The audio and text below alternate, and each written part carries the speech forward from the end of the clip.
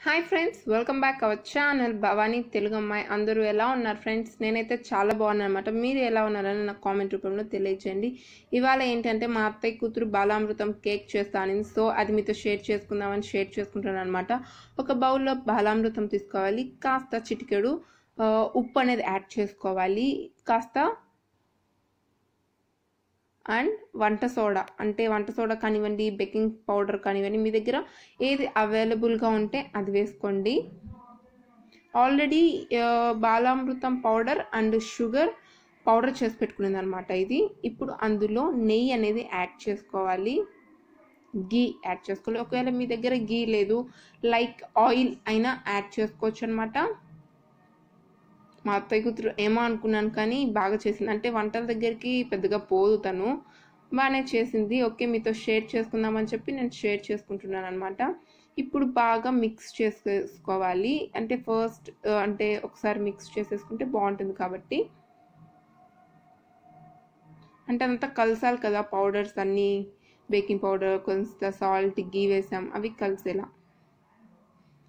ఇప్పుడు అందులో milk add చేస్తాం. కాచిన పాలైనా పర్వాలేదు. లైక్ రా పాలైనా పర్వాలేదు అనమాట కొంచెం కొంచెం వేసుకొని కలుపుకుంటే ఏంటంటే లమ్స్ లేకుండా కలుపుకోవాలి కాబట్టి మొత్తం బాగా కలిపేసుకోవాలి.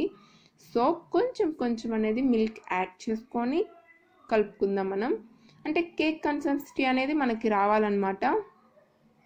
కేక్ బాగా మిక్స్ చేసేసుకుందాం. నాదొక చిన్న రిక్వెస్ట్ నా ఛానల్ ఇంకా ఎవరైతే ఇంతవరకు సబ్స్క్రైబ్ చేసుకోలో వెంటనే సబ్స్క్రైబ్ చేసుకోండి. పక్కనే ఉన్న బెల్ ఐకాన్ని ట్యాప్ చేయండి.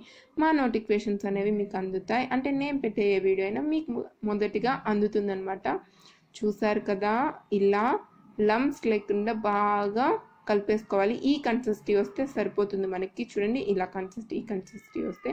ఇప్పుడు ఒక ఆయిల్ సారీ ఒక తీసుకుందాం ఒక గిన్నె. మనకు కాడ షేపర్స్ ఉంటే షేపర్స్ లేదంటే నేను గిన్నె తీసుకుంటున్నాను. ఇప్పుడు అందులో గీ అనేది మొత్తం చుట్టూ అప్లై చేస్తున్నాను. ఒకవేళ మీ దగ్గర మైదా పౌడర్ ఉంటే యూస్ చేయొచ్చు. ఒకవేళ బటర్ పేపర్ ఏం లేదు మనకి గీ ఉంటే చాలు. గీ అనే కాదు ఆయిల్ అయినా పర్లేదు ఇలా. మొత్తం అప్లై చేసేసుకోవాలి.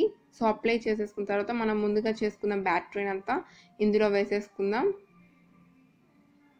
గీ వేసుకుంటే ఏంటంటే కొంచెం ఫ్లేవర్ అనేది బాగుంటుంది. ఇప్పుడు ఒకసారి ట్యాపింగ్ చేసేద్దాం.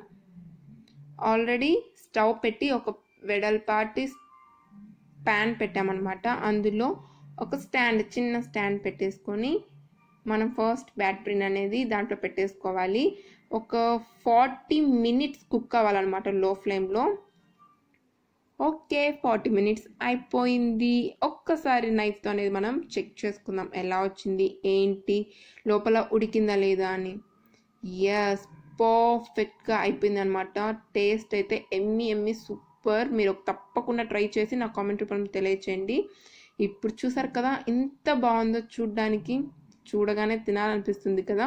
మీ దగ్గర క్రీమ్ అవి ఉంటే ఇంకా సూపర్ ఉంటుంది అనమాట చాలా స్పాంజీగా చాలా సాఫ్ట్గా. చూడండి ఎంత స్పాంజీగా వచ్చిందో ఎంత ప్లఫీగా వచ్చిందో. మీరు కూడా ట్రై చేసి నా కామెంట్ రూపంలో ఎలా ఉందనేది తెలియచేయండి.